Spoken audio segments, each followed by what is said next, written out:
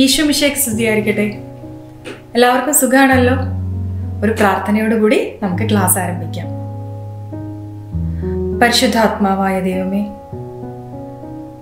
സ്നേഹം തന്നെയായ അങ്ങ് ഞങ്ങളുടെ ജീവിതത്തിൽ ചൊരിഞ്ഞുകൊണ്ടിരിക്കുന്ന ഓരോ നന്മകളെ ഓർത്തും അങ്ങേക്ക് ഞങ്ങൾ നന്ദി പറയുന്നു. എന്റെ പൊന്നപ്പച്ച അങ്ങയുടെ സ്നേഹം ഞങ്ങളിലേക്ക് ഒഴുക്കി അങ്ങ് വാഗ്ദാനം ചെയ്ത പരിശുദ്ധാത്മാവിനെ ഞങ്ങൾക്ക് ഓരോരുത്തർക്കും സമൃദ്ധമായി നൽകണമേ. പരിശുദ്ധാത്മാവിന്റെ ചൈതന്യത്താൽ നിറയുവാൻ ഞങ്ങളെ സഹായിക്കുകയും ചെയ്യണമേ. ആമീൻ.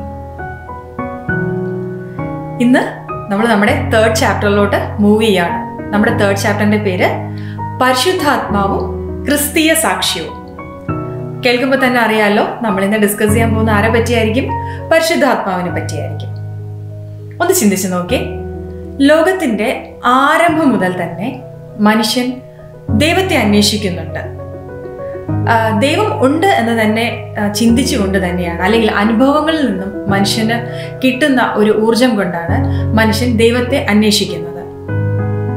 ഈ ലോകം ഒരുപാട് ഡെവലപ്മെന്റ്സ് ഒക്കെ ഉണ്ടായപ്പോൾ ടെക്നോളജിക്കലി അല്ലെങ്കിൽ സയന്റിഫിക്കലിക്ക് നമ്മൾ ഒരുപാട് മുന്നോട്ട് പോയപ്പോൾ ചില ആൾക്കാരെങ്കിലും പറഞ്ഞു ദൈവം ഇല്ല എന്ന്. അതിന് ഏറ്റവും വലിയ എക്സാമ്പിൾ എന്നാണ് എന്തോ പറയാ നമുക്ക് ഡാർവിൻസ് തിയറി അല്ലെ? ഡാർവിൻസ് തിയറിയിലെ നാച്ചുറൽ സെലക്ഷൻ എന്ന ഒരു ആ ഒരു ഇതിൽ നിന്ന് നമുക്ക് വരുന്ന കൺക്ലൂഷൻ എന്താണ്? ദൈവം ഇല്ല എന്നാണ് ആ തിയറിയുടെ ഒരു കൺക്ലൂഷൻ ഈ തിയറി ഫോളോ ചെയ്യുന്ന ഒരുപാട് ആൾക്കാരെ നമുക്ക് കാണാം.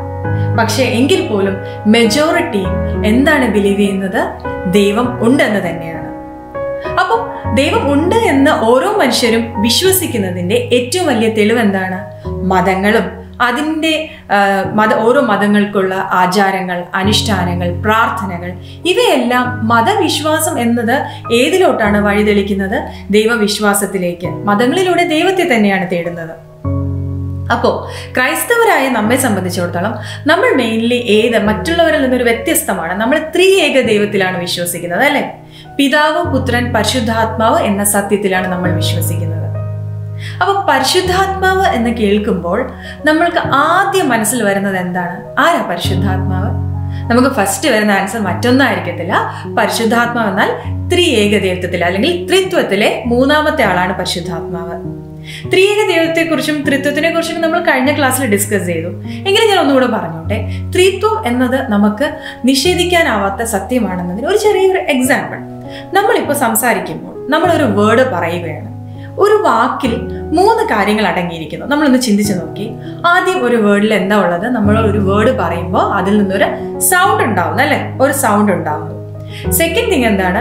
നമ്മൾ ഒരു വേർഡ് പറയുമ്പോൾ നമ്മൾ ജസ്റ്റ് നമ്മുടെ ഈ കൈ ഒന്ന് അടുത്തോട്ട് വായുടെ അടുത്തോട്ട് വെച്ചപ്പോൾ നമുക്കൊരു എയർ ഫീൽ ചെയ്യാൻ പറ്റും. അല്ലെ? നമ്മൾ ഇൻഹെയിൽ ചെയ്യും എക്സെയിൽ ചെയ്യുന്ന ഒരു എയറിന്റെ ഫീലിംഗ് നമുക്ക് കിട്ടും. അപ്പൊ നമുക്ക് എന്താണ്? ഒരു നിശ്വാസം നമുക്ക് ഫീൽ ചെയ്യാൻ പറ്റുന്നു. തേർഡ് വൺ ഏതൊരു വാക്കിനും ഒരു അർത്ഥമുണ്ട്. ഒരു മീനിങ് ഇല്ലാത്ത ഒരു വേർഡ് ഇല്ല ഈ ലോകത്ത്.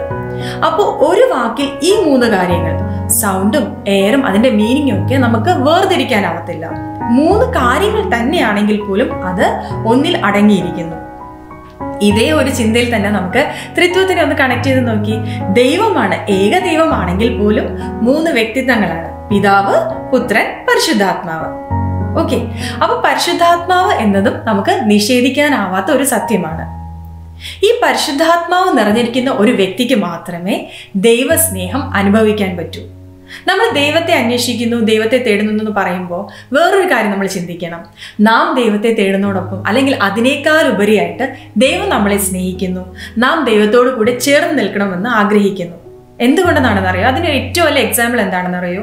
ദൈവം എങ്ങനെയാ മറ്റു സൃഷ്ട വസ്തുക്കളെ സൃഷ്ടിച്ചതുപോലെയാണോ മനുഷ്യനെ സൃഷ്ടിച്ചത്? അല്ല അല്ലെ? ഭയങ്കര ഡിഫറെന്റ് ആയിട്ടാണ്. ദൈവം സ്വന്തം ഛായയിലും സാദൃശ്യത്തിലുമാണ് മനുഷ്യനെ സൃഷ്ടിച്ചത്. എന്നിട്ട് എന്താ ചെയ്തേ? സ്വന്തം ജീവന്റെ ആ ദൈവത്തിന്റെ ജീവശ്വാസം നമ്മളിലേക്ക് നൽകി. അപ്പൊ ദൈവം നമ്മളെ അത്രമാത്രം ചേർത്ത് പിടിക്കുന്നത് കൊണ്ട് തന്നെയാണ്. അപ്പൊ പിതാവ് ആ ജീവശ്വാസം അല്ലെങ്കിൽ ഒരു ദൈവാത്മാവിനെ നമ്മളിലേക്ക് വർഷിച്ചു എന്ന് പറയാം. അതാണ് പരിശുദ്ധാത്മാവ്.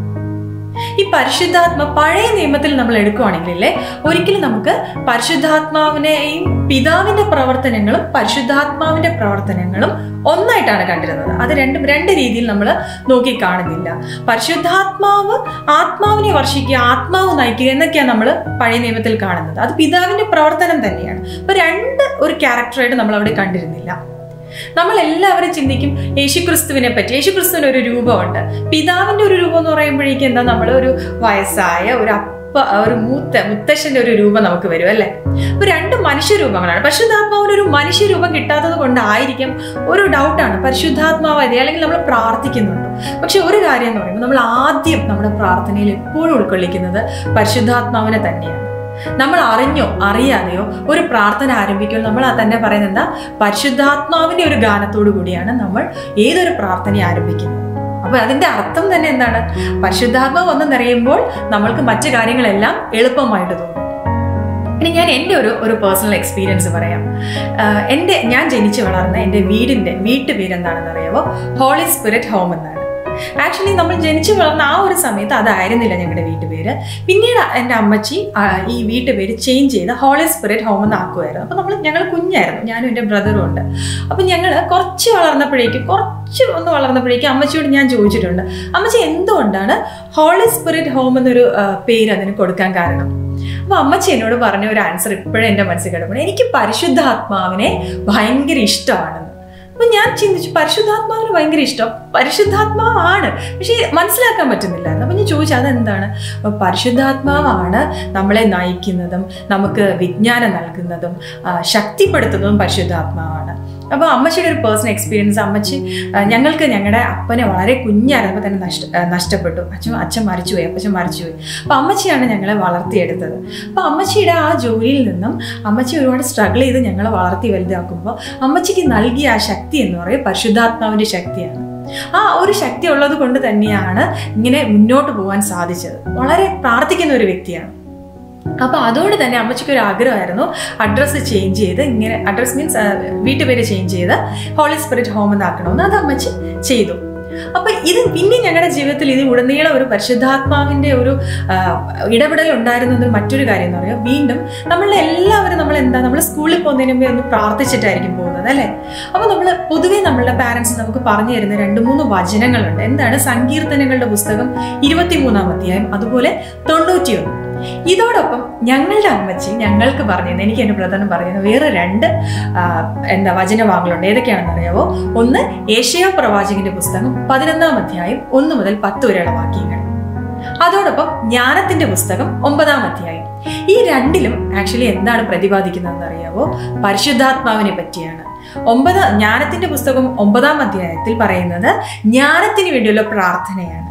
ഏഷ്യ പ്രവാചകന്റെ പുസ്തകം പതിനൊന്നാം അധ്യായത്തിൽ പരിശുദ്ധാത്മാവിൽ നിറഞ്ഞ യേശു ക്രിസ്തുവിനെ പറ്റിയാണ് പ്രവചനം നടത്തുന്നത്. അപ്പൊ ഞങ്ങളോട് പറയും ഇത് വായിക്കണം. ഞങ്ങൾ വായിച്ചു തുടങ്ങി. ഞങ്ങൾ വായിക്കാനൊക്കെ പഠിച്ച ആ സമയം മുതൽ ഞങ്ങൾ ഇതും ഇങ്ങനെ മാറിയും തിരിഞ്ഞും വായിക്കുമായിരുന്നു സത്യം പറയാലോ അതൊരു പവർ തന്നെയാണ് കേട്ടോ. നമുക്ക് പഠിക്കാനുള്ള ഒരു വിജ്ഞാനവും വിവേകവും ഒരു എക്സാം എഴുതുമ്പോൾ പോലും നമുക്കൊരു കോൺഫിഡൻസ് കിട്ടും ഈ വചനഭാഗങ്ങൾ വായിച്ചു പറയും പോകുമ്പോൾ. പരിശുദ്ധാത്മാവിന്റെ ഏറ്റവും വലിയ പ്രത്യേകത എന്താണെന്നറിയോ? ഒരു വ്യക്തിയെ ഏറ്റവും കൂടുതൽ ശക്തിപ്പെടുത്തുന്ന അല്ലെങ്കിൽ ഒരു വ്യക്തി എനർജറ്റിക് ആയിട്ട് കാണപ്പെടുന്നത് പരിശുദ്ധാത്മാവിന്റെ നിറവുള്ളപ്പോഴാണ്. അതായത് ഈ ചില ആൾക്കാരെ കാണുമ്പോൾ ഭയങ്കര ഗ്ലൂമി ആയിരിക്കും. അവരെ കാണുമ്പോൾ എപ്പോഴും ഒരു നിരാശയായിരിക്കും ഒരു സന്തോഷമില്ല. അല്ലെങ്കിൽ അവർ ഇങ്ങനെ ചടഞ്ഞുകൂടിയിരിക്കുന്ന ഒരു പ്രകൃതമായിരിക്കും. പക്ഷെ പരിശുദ്ധാത്മ എന്ന് പറഞ്ഞൊരു വ്യക്തിയുടെ പ്രത്യേകത എന്തായിരിക്കും? അവരെപ്പോഴും നല്ല എനർജറ്റിക് ആയിട്ട് മൂവ് ചെയ്തുകൊണ്ടേയിരിക്കും. ഇതിന്റെ അർത്ഥം പരിശുദ്ധാത്മാവ് നിറഞ്ഞ ഒരു വ്യക്തിയിൽ ഒരിക്കലും വേറെ ദുഃഖങ്ങൾ ഉണ്ടാവില്ല പ്രയാസങ്ങൾ ഉണ്ടാവില്ല രോഗങ്ങൾ ഉണ്ടാവില്ല എന്നല്ല. പക്ഷെ അതിനെല്ലാം ഓവർക്ക് ഓവർകം ചെയ്ത് ഈ ശക്തിയിൽ മുന്നോട്ട് നൽ പോകുവാൻ അവർക്ക് പറ്റും. അതുകൊണ്ട് എന്റെ മക്കൾ എപ്പോഴും ശ്രദ്ധിക്കണം. പരിശുദ്ധാത്മാവിന്റെ വരദാന ഫലങ്ങൾക്ക് വേണ്ടി എപ്പോഴും പ്രാർത്ഥിക്കണം. ആത്മാവ് നിറഞ്ഞൊരു വ്യക്തിക്ക് സ്വന്തമായി ഉയരാൻ മാത്രമല്ല ചുറ്റുമുള്ളവരിലേക്കും ആ പരിശുദ്ധാത്മാവിനെ നൽകി ആ ഒരു സ്നേഹം ഒരു സന്തോഷം പകരുവാൻ സാധിക്കും. നന്മ തിന്മ മറ്റൊരു വലിയ ഗുണം എന്ന് പറയുന്നത് എന്തെന്ന് അറിയാവോ പരിശുദ്ധാത്മാവിന്റെ നൽകുന്ന ഒരു വലിയ ദാനമാണ് വിവേകം. അതായത് നന്മ തിന്മകളെ തിരിച്ചറിഞ്ഞ് മുന്നോട്ട് പോകുവാനായിട്ട്. അല്ലെങ്കിൽ ഒരു തെറ്റ് ചെയ്താൽ ഞാൻ ചെയ്തത് തെറ്റാണെന്ന് ചിന്തിക്കുവാൻ നമ്മൾക്ക് സഹായ നമ്മളെ സഹായിക്കുന്നത് പരിശുദ്ധാത്മാവാണ്. ഓക്കെ നമ്മൾ നോക്കാം പരിശുദ്ധാത്മാവിന്റെ പ്രവർത്തനം എങ്ങനെയാണ് ചില വ്യക്തികളെ ഇൻഫ്ലുവൻസ് ചെയ്ത് ആദ്യം നമുക്ക് പഴയ നിയമം ശ്രദ്ധിക്കാം. ഞാൻ ആദ്യം തന്നെ പറഞ്ഞല്ലോ പഴയ നിയമത്തിൽ ആത്മാവിന്റെ പ്രവർത്തനവും പിതാവിന്റെ പ്രവർത്തനവും ഒന്നായിട്ടാണ് കണ്ട കാണപ്പെട്ടിരുന്നത്. അപ്പൊ അത് എങ്ങനത്തെ ഒരു രീതിയിലെന്ന് നമുക്ക് നോക്കാം. ആദ്യം ഞാൻ പറയാൻ ഉദ്ദേശിക്കുന്നത് നമ്മുടെ പുറപ്പാട് പുസ്തകം ഉൽപ്പത്തി പുസ്തകത്തിൽ തന്നെയുള്ള ജോസഫ് അല്ലെ? ജോസഫിനെ എല്ലാവർക്കും അറിയാലോ ആരാണെന്ന്? യാക്കോബിന്റെ പുത്രനാണ് ജോസഫ്. ജോസഫ് പരിശുദ്ധാത്മാവിൽ നിറഞ്ഞ ഒരു വ്യക്തിയായിരുന്നു. അത് ഏറ്റവും വലിയ തെളിവ് ജോസഫിന് ഉണ്ടായിരുന്ന ഏറ്റവും വലിയ പ്രത്യേകത എന്താണ്? ഒരു വ്യാഖ്യാന വരമുണ്ടായിരുന്നു ഈ വ്യാഖ്യാനം വരെ ആരെ നൽകുന്നതാ? പരിശുദ്ധാത്മാവ് നൽകുന്നത്. സ്വപ്നങ്ങൾ വ്യാഖ്യാനിക്കാൻ അല്ലെങ്കിൽ കാര്യങ്ങൾ തിരിച്ചറിഞ്ഞ് മുന്നോടിയായിട്ട് കാര്യങ്ങൾ ചെയ്യുവാനുള്ള ഒരു വലിയ കഴിവുണ്ടായിരുന്നു. ജോസഫിന്റെ ജീവിതത്തിൽ എന്താണ് സംഭവിച്ചത്? അല്ലെ? ജോസഫിന്റെ സഹോദരങ്ങളായിക്കോട്ടെ തന്നെ ജോസഫിന് ഒരുപാട് പ്രശ്നങ്ങൾ ഉണ്ടാക്കുന്നു. എന്തായാലും ജോസഫ് ഈജിപ്തിൽ വന്നപ്പെടുന്നു. ആ ഒരു ചരിത്രം നിങ്ങൾക്ക് എല്ലാവർക്കും അറിയാം. അപ്പൊ ഈജിപ്തിൽ കരഗ്രഹത്തിലാകുന്ന ജോസഫിന് എന്താണ് സംഭവിക്കുന്നത്? ഫറവോ രാജാവ് താൻ കാണുന്ന സ്വപ്നം വ്യാഖ്യാനിക്കാനുള്ള ഒരു ഓപ്പർച്യൂണിറ്റി ജോസഫിന് കിട്ടുന്നു. ജോസഫിന് കിട്ടാനുള്ള കാര്യം എന്താണെന്ന് അറിയാവോ?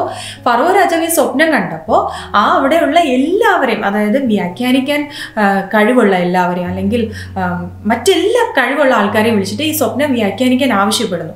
അവർ അവരുടേതായ രീതിയിൽ ഈ സ്വപ്നം വ്യാഖ്യാനിക്കുമ്പോൾ പോലും രാജാവ് ഒന്നിലും ഒന്ന് തൃപ്തനാവുന്നില്ല. എന്ന് വെച്ചാൽ രാജാവിന് തന്നെ ഫീൽ ചെയ്യുന്നുണ്ട്. ഇതൊന്നും ഒരു കറക്റ്റ് ഒരു ആൻസർ അല്ല എന്ന് അപ്പോഴാണ് ജോസഫിനെ പറ്റി കേൾക്കുന്നത്. അപ്പം ജോസഫ് വന്ന് ഈ രാജാവിന് രാജാവിന്റെ ആ സ്വപ്നം എക്സ്പ്ലെയിൻ ചെയ്തു കൊടുക്കുന്നു.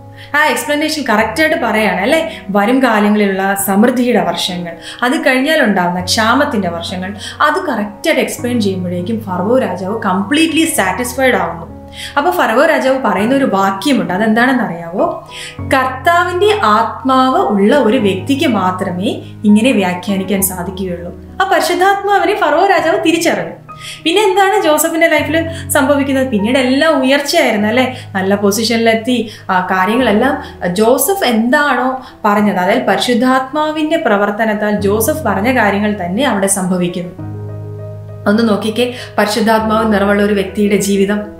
ഇതുപോലെ വേറൊരു കാര്യം ഒരു പ്രവാചകനെ പറ്റി പറയാം. എസക്കിയൽ പ്രവാചകൻ. എസക്കിയൽ പ്രവാചകന് ഒരു ദർശനം ഉണ്ടാകുന്നു. എനിക്ക് തോന്നുന്നത് ദർശനം കണ്ടപ്പോൾ എസക്കിയൽ പ്രവാചകൻ ഒന്ന് ഒന്ന് പേടിച്ചിട്ടുണ്ടായിരിക്കും. അപ്പോൾ അത് കഴിഞ്ഞ് ഈ ദർശനം കഴിയുമ്പോൾ കർത്താവ് എസക്കിയലിനോട് സംസാരിക്കാൻ തുടങ്ങുന്നതിന് തൊട്ടു മുന്നേ ആത്മാവ് എസക്കിൽ പ്രവാചകനെ കാലുകളിൽ ഉറപ്പിച്ചു നിർത്തിയെന്ന് പറയുന്നുണ്ട്. ആത്മാവ് അത് എടുത്തു പറയുന്നുണ്ട്. എസക്കിൽ പ്രവാചകന്റെ പുസ്തകം രണ്ടാം അധ്യായം രണ്ടാം വാക്യത്തിൽ അത് കാണാൻ പറ്റും. വീണ്ടും മൂന്നാം അധ്യായത്തിൽ കാണാൻ പറ്റുന്ന എന്താണെന്ന് അറിയാവോ? ആത്മാവ് എസക്കിൽ പ്രവാചനെ മേൽപോട്ട് ഉയർത്തി മറ്റൊരു സ്ഥലത്തേക്ക് കൊണ്ടുപോയി. അവിടെ പറയുന്ന ആത്മാവ് ആരാണ്? എസക്കിൽ പ്രവാചകനെ ഉയർത്തിയതും നിർത്തിയതും കൊണ്ടുപോകുന്നതും ശക്തിപ്പെടുത്തുന്നതും എല്ലാം കർത്താവിന്റെ ആത്മാവ് അതായത് പരിശുദ്ധാത്മാവാണ്. നമ്മൾ ഇതിൽ നിന്ന് മനസ്സിലാക്കേണ്ട ഒരു കാര്യം എന്താണെന്ന് അറിയാവോ? കർത്താവ് ഓരോ ആൾക്കാരെ തിരഞ്ഞെടുത്ത് ഓരോ നിയോഗങ്ങൾ നൽകുമ്പോൾ അവരെ നയിക്കുന്നതും ശക്തിപ്പെടുത്തുന്നതും ഒക്കെ ആരാ? പരിശുദ്ധാത്മാവാണ്. ദാവീദ് അറിയോ? ദാവീദ് രാജാവിനെ അറിയാലോ? സങ്കീർത്തനങ്ങളൊക്കെ എഴുതിയത് ആരാതാണ്? ദാവീദ് രാജാവാണ്. ദാവീദ് രാജാവ് തന്നെ പറയുന്ന ഒരു കാര്യം എന്തെന്നറിയാവോ? കർത്താവിന്റെ ആത്മാവാണ് എന്നിലൂടെ സംസാരിച്ചത്. പറയുകയാണ് ഏറ്റു പറയുകയാണ് ഞാനല്ല എന്നിലൂടെ സംസാരിച്ചത് ആരാണ്? കർത്താവിന്റെ ആത്മാവ് അതായത് പരിശുദ്ധാത്മാവെന്നാണ്. അപ്പം ഈ ഓരോ വ്യക്തികളുടെയും ജീവിതത്തിൽ നമുക്ക് കാണാൻ പറ്റുന്നത് എന്താ? പരിശുദ്ധാത്മാവിന്റെ സാന്നിധ്യം. കർത്താവ് എല്ലാ നമ്മളെല്ലാവരിലും പരിശുദ്ധാത്മാവിനെ സമൃദ്ധമായി നൽകിയിട്ടുണ്ട്. പക്ഷേ നമ്മൾ ഒരു കാര്യം മനസ്സിലാക്കുക നമ്മൾക്ക് ഒരു ചെറിയ ഒരു കാര്യം ഉണ്ടായിരിക്കും. അത് വലുതാക്കാൻ ശ്രമിക്കണം അല്ലേ? താലന്തകൾ വലുതാക്കുമ്പോൾ പോലെ നമ്മൾ നമ്മുടെ കഴിവുകളെ വളർത്തിയെടുക്കുന്നത് പോലെ നമ്മളുള്ള പരിശുദ്ധാത്മാവിനെ തിരിച്ചറിഞ്ഞ് നമ്മൾ ആ പരിശുദ്ധാത്മാവിന്റെ വരദാന ഫലങ്ങൾ കൊണ്ട് നിറയുവാൻ ശ്രമിക്കണം. അതിനെന്താണ്? ദൈവത്തിന് നമ്മൾ തുറന്നു കൊടുത്താലല്ലേ പറ്റത്തുള്ളൂ. അപ്പം നമ്മൾ എല്ലാവരും ചെയ്യേണ്ട ഒരു കാര്യം എന്ന് പറയുമ്പോൾ പരിശുദ്ധാത്മാവിന് വേണ്ടി സമൃദ്ധമായി പ്രാർത്ഥിക്കുക. അപ്പോൾ പരിശുദ്ധാത്മാവ് നമ്മളിൽ നിറയും. എന്റെ മക്കളെ നിങ്ങൾ എല്ലാവരും പ്ലസ് ടുവിനല്ല പഠിക്കുന്നത്? ഇന്ന് ഞാൻ വേറെ ഒരു ആക്ടിവിറ്റീസ് നിങ്ങൾക്ക് തരുന്നില്ല കേട്ടോ. തരാൻ ആഗ്രഹിക്കുന്ന ഒരു ചെറിയ ആക്ടിവിറ്റി എന്താണെന്ന് വെച്ചാൽ നിങ്ങൾ പഠിക്കുന്നത് ഇപ്പോൾ എല്ലാവരും പഠിക്കുന്നുണ്ടല്ലായിരിക്കും നന്നായിട്ട് പഠിക്കേണ്ട ഒരു സമയമാണ് അല്ലേ? ഉഴപ്പാതെ. ഇപ്പം നിങ്ങൾ പഠിക്കുന്നതിന് മുന്നേ എല്ലാ ദിവസവും പഠനത്തിന് തൊട്ട് മുന്നേ ആയിട്ട് ഒരു ബൈബിൾ വചനം ഇന്നൊന്ന് സ്റ്റാർട്ട് ചെയ്യാം മറ്റൊന്നൊന്നല്ല നിങ്ങൾക്ക് ജ്ഞാനം ലഭിക്കുന്നതിന് വേണ്ടിയുള്ള പ്രാർത്ഥന അതായത് പരിശുദ്ധാത്മാവിന്റെ ജ്ഞാനം നിങ്ങൾക്ക് ലഭിക്കുന്നതിന് വേണ്ടി ജ്ഞാനത്തിന്റെ പുസ്തകം ഒമ്പതാം അധ്യായം ഈ ഒമ്പതാം തീയതി വളരെ ചെറിയ ഒരു ചാപ്റ്ററാണ് സോ നിങ്ങൾ അത് വായിക്കുക. വായിച്ച് പ്രാർത്ഥിക്കുക. നിങ്ങൾക്ക് എല്ലാവർക്കും ദൈവം പരിശുദ്ധാത്മാവിനെ സമൃദ്ധമായി നൽകട്ടെ എന്ന് പ്രാർത്ഥിക്കുന്നു. താങ്ക്